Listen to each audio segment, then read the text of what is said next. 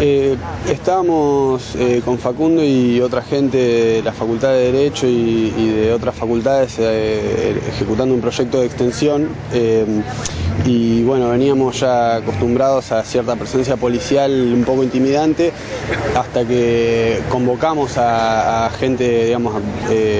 con, funciones en la facultad para que vengan a, darnos una mano, a asesorarnos. Ese fue el último día que se subieron los patrulleros a la plaza pero fue el día también que, se llevaron a Facundo preso y con una supuesta arma que nosotros habíamos estado con él hacía unos minutos y no, no la tenía. Así que es todo muy, por lo menos, sospechoso. ¿Ustedes consideran que es una causa completamente armada? ¿Que ¿A qué respondería?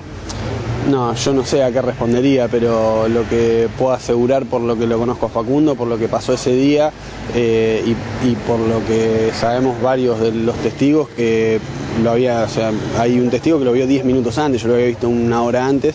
que no, tenía un arma. Y por otra parte eh, cuando surge toda esta cuestión yo me reúno con gente de, acción social de la municipalidad que estaba eh, que era había trabajado con, con, Facundo que lo habían visto la semana pasada en una situación también en la que lo ayudaron de hecho a que la policía lo deje ir porque hasta hacía un minuto había estado con, con una persona una funcionaria de acción social cuando salió se lo encontró esposado en un patrullero que no tenía tiempo material para haber hecho nada. Así que eh, esto y ya otras cuestiones, como lo que se ve también en el informe de 2011 eh, de la Comisión Provincial por la Memoria, también se ve que eh, Facundo está, es claramente molesto para, la policía y, bueno, eso, eso es lo que en eso redunda que hoy estemos acá. Esperamos que, sea justicia nada más eh, ni nada menos, que no es poco en una situación así en la que eh,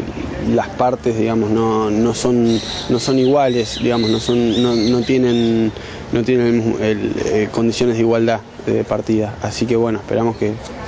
pueda salir bien, que, tenga un juicio justo y que, y que salga lo mejor posible.